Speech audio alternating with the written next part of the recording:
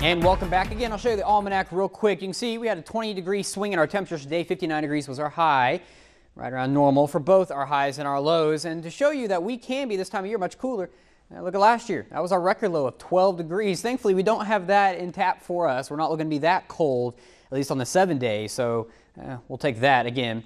You can see we picked up nearly just under a tenth of an inch of rain, and we're still an inch 1.35 below where we should be. We're going to add to that. I don't think we're going to get above average, though. Rain showers today stay mainly on off to our east.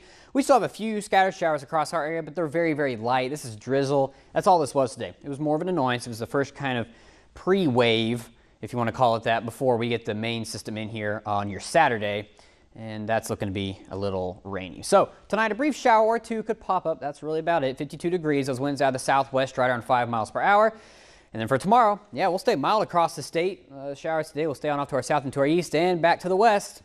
Unfortunately, yep, those are showers and thunderstorms and that nasty cold front heading our way. It's going to drop us below average. But for tomorrow, we're going to be above average. Look at this. We'll be in the mid to upper 60s across the area.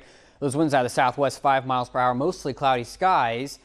Then how's it look throughout tomorrow? Well, again, we'll have some scattered showers on tonight. That's really about it. I'm going to say that because anytime you see green on a map, some people freak out and go, oh no, we're going to have thunderstorm stuff. We're not looking at that for tonight or even tomorrow.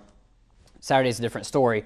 And as we go on throughout tomorrow, we'll start to increase in coverage. The showers will on off to the west, and eventually those will get here. There's a little dip in the jet stream, thunderstorms across our area, the southeast really, a mix across the central and eastern U.S., and then some snow on up to the north, and we're not having to look at any of that. We've actually gone back down a little bit on our precip totals. It looks like we're not going to get a lot of moisture return, or it's not going to return as quickly.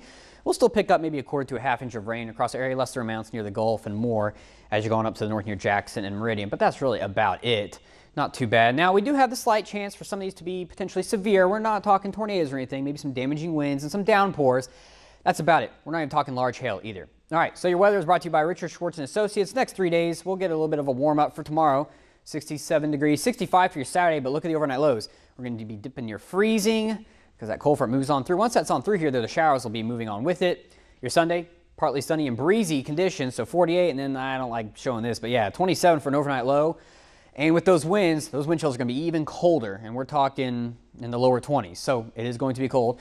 55 for Monday, plenty of sunshine. Then clouds will be on the increase going on into your Tuesday. We'll be back in the 60s, though. Overnight lows in the 40s. And unfortunately, that cold front moves through, giving us another chance of some rain. Cooler for your Wednesday, you can see we're only talking 46 to 49 Wednesday morning to Wednesday afternoon. And then overnight Wednesday night, we'll be dipping quite a bit below freezing again, and we're maybe looking at that again as well for Thursday night. So, and we're talking later this month, we're going to get below average. Uh, so, you know, kind of get ready for it. It's kind of a roller coaster on the seven day. We're going up and down, up and down, but that's just kind of the nature of the beast. Yeah. Yeah. Yeah. Thanks a lot, sir.